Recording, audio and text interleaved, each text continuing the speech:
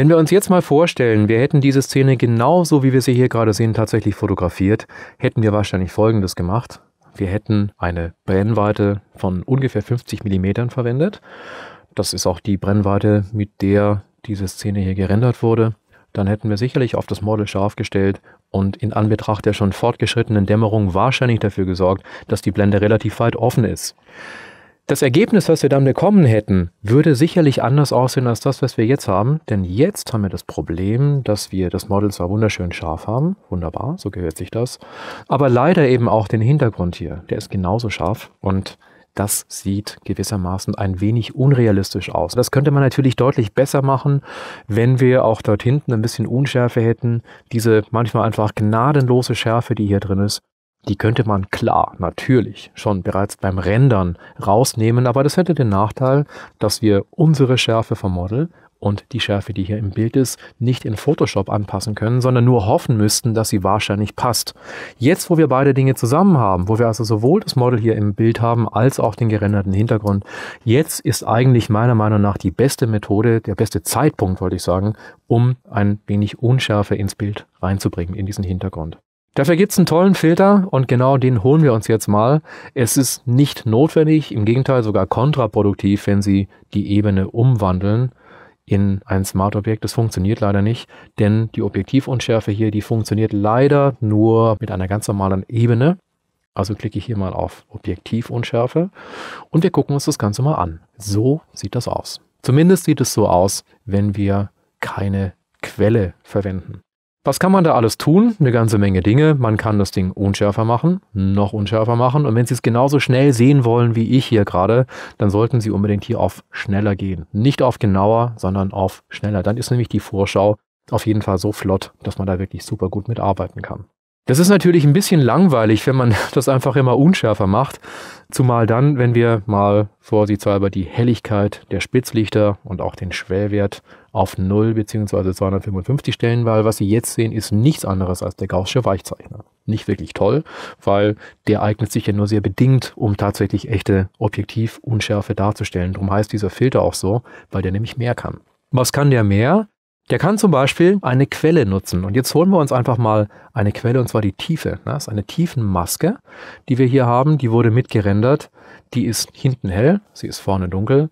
Damit kann man auch den Himmel aufhellen. Und diese Maske, die lässt sich tatsächlich auch als Brennweitenmaske einsetzen. Also wenn ich diese Tiefenmap mit dieser Maske hier berechne, dann sehen wir im Moment folgendes. Hinten ist unscharf, vorne ist es scharf. Und das Tolle daran ist, ich kann die Brennweite der Maske quasi verändern. Indem ich jetzt beispielsweise die Brennweite mal hier auf 38 stelle. Jetzt haben wir genau hier diesen Punkt scharf, diese Ebene. Auch das Gebäude daneben natürlich, auch das Hochhaus ist noch scharf. Und weiter hinten ist es immer noch unscharf. Vorne wird es aber auch schon unscharf. Wenn wir das weiter nach hinten ziehen, ja, haben wir jetzt dieses Gebäude absolut scharf. Sicherlich, wenn da noch mehr stehen würde, wäre das auch scharf, aber der Vordergrund ist unscharf und der Hintergrund auch. Und so kann man mit dieser weichzeichnenden Brennweite ziemlich genau festlegen, wo man die Schärfe haben möchte. Jetzt liegt sie schon recht weit hinten auf diesem Gebäude dort hinten, während ganz hinten es wirklich unscharf ist und vorne auch. Also man kann mit dieser Tiefe das Bild genau steuern. Das ist für uns aber nur dann interessant, wenn wir beispielsweise eine Miniaturdarstellung machen wollen, weil die hat ja genau das.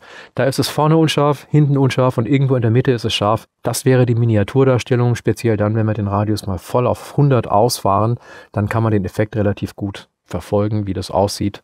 Aber für das, was wir machen wollen, ist es leider nicht das. Wir müssen wirklich tatsächlich ohne diese Tiefe arbeiten. Ich wollte Ihnen das nur mal zeigen, weil ich finde, dass es eine wahnsinnig kreative Art und Weise ist, Unschärfe in ein Bild zu bringen. So, also wir brauchen das wie gesagt nicht. Ich gehe also hier auf ohne und dann ist es wieder gleich komplett super unscharf. Versuchen wir doch mal auf einen etwas realistischeren Wert zu gehen, vielleicht sowas, wahrscheinlich sogar noch eher sowas. 15, 14, 13, sowas, das reicht wahrscheinlich komplett aus, um das Bild unscharf zu machen. Wir gehen mal ein bisschen dichter ran, gucken uns das mal an und ja, klar, das ist schon lange nicht mehr scharf. So würde es scharf aussehen. So sieht es unscharf aus. Und diese leichte Unschärfe, das ist genau die Unschärfe, die wir auch bekommen würden, wenn wir die Szene fotografiert hätten. Allerdings wird dann noch was anderes passieren. Und das macht den Filter auch nochmal wertvoller. Allerdings würden wir dann auch die Spitzlichter etwas vergrößert sehen. Es ist so, wenn Sie in der Unschärfe fotografieren, also mit einem nicht fokussierten Objektiv, dann werden Sie feststellen, dass sich die Lichter, die Spitzlichter, all das hier, was wir hier sehen, deutlich größer darstellen als dunkle Bereiche. Die dehnen sich quasi aus und genau das kann man damit auch wunderschön demonstrieren, indem ich mal die Helligkeit der Spitzlichter ein bisschen nach oben setze.